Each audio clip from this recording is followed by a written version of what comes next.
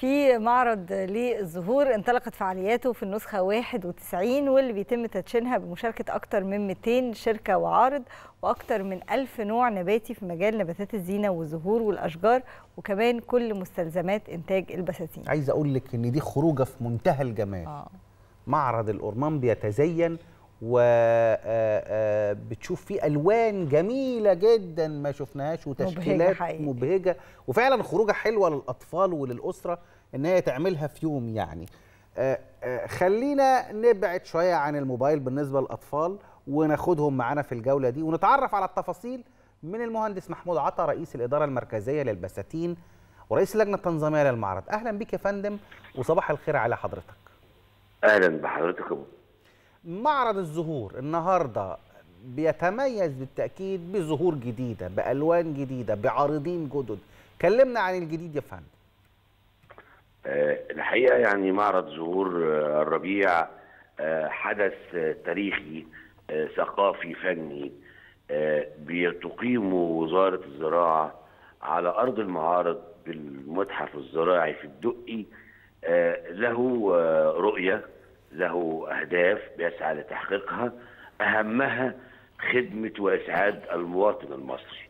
زي ما حضرتك تفضلت خروجة بسعر رمزي بسيط سعر التذكرة 10 جنيه معرض متنوع في المنتج الزراعي اللي بينتج كل أنواع نباتات الزينة في مصدر نباتات الزينة في آه الشركات الكبيرة اللي بتنتج عشان تدي للمصدر في landscape وشركات متخصصة في ال landscape في شركات متخصصة في كيف تصنع بهجة. في بلكونتك البلكونة الصغيرة البسيطة اللي ممكن تزرعها بتكلفة لا تزيد عن 150 جنيه. المعرض أيضا بيحتوي على زراعة زراعة زراعة الأسطح موجود برضه فيها ناس؟ في فرعين عندنا شركتين لأول مرة يشتركوا في زراعة الأسطح بمناسبة منهم أحدهم شباب خريجين يعني حد بيعلم بشكل شيك. عندنا أول مرة علم طفلك كيف يزرع مبادرة بتعملها إحدى الجمعيات التابعة لمؤسسة المجتمع المدني. عندنا هذا العام فرق فنية وثقافية بتعلم الأطفال إزاي يرسم الزرع إزاي يكون في علاقة ما بين الطفل والزرع لأنه الطفل النهارده لو لم لم لم يلمس الطبيعة لن يشعر بأهميتها وقيمتها. وأعتقد إن ده موضوع مهم جدا الثقافة لدى الطفل بدأت تندثر فيما يتعلق بالزرع. فعملنا زي ورش عمل كده إزاي نعرف الطفل انه يلمس الطبيعة ويتعامل مع الزراعة ويزرعها.